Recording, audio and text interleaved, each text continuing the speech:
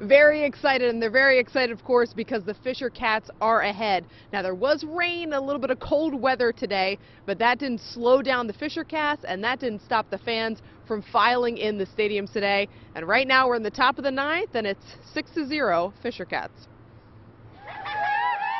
Rain, fog, and 40 degree temps didn't keep the diehard fans away from Northeast Delta Dental Stadium. No, the rain is not keeping us away.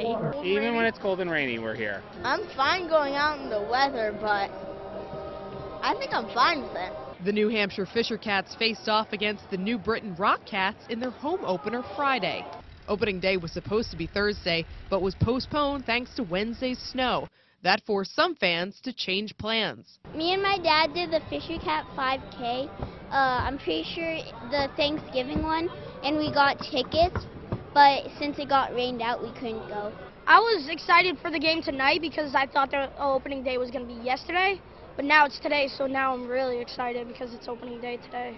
Gavin and his friend Jake playing hooks at Little League and cheered on their favorite team. I'm just hoping the uh, Fisher Cats crush the Great Britain. Others stayed warm with a hot date. Not me. I'm pretty much, I don't care about the weather. I'm good. I have him. He can keep me toasted warm, so, and watch the game. We do have the right idea. It's a kind of cold night tonight, but we're having a lot of fun. Rain or shine, nothing stands between a Fisher Cats fan and what's really important. It's a little rainy and cold outside. Does that make you think twice about coming?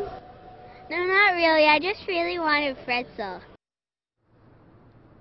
Although today was a little bit tough, organizers are hoping for a better game tomorrow for All You Can Eat Saturday and the second game against New Britain. Live in Manchester, Stephanie Woods, WMUR News 9.